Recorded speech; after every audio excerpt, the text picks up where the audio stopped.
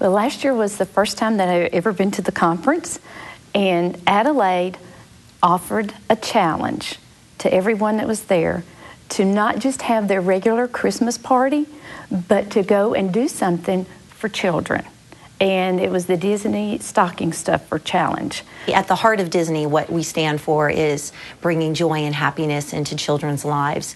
So when Adelaide asked us, Disney, to sponsor the Simple Service Project last year for stocking stuffers, of course we had to say yes. That's right up our alley. So when we were discussing the party, I said, I know, let's accept Champions for Kids Challenge. Let's do something for our children at our school because they're the ones that need it. And we all gathered in the library and we had all of these tables lined up and we just formed this assembly line. And that was our Christmas party at George Elementary.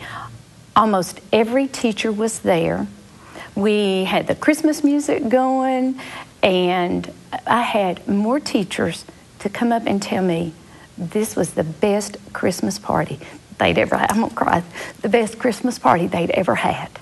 After we did it, and the kids came back after Christmas to see the kids wearing the backpacks, wearing the scarf and gloves and, and hats that they had received from our Simple Service Project, it was unbelievable. It was really amazing, just just so powerful to hear that those results were um, so phenomenal from a simple, really a simple service project of working with our vendor partners to bring together um, items that children would love um, to receive in Christmas stockings.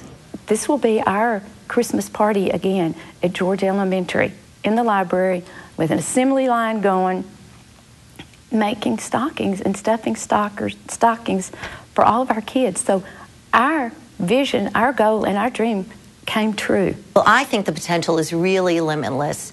I think we can all bring to the table our unique and special talents and skills and call on our friends, our coworkers, our family members to get involved in something that's so important to, to everyone, to the children of the world, um, to bring smiles and happiness into their lives. To be a part of this and to hear what Champions for Kids are doing, and you're thinking, if they can do it, I can do it.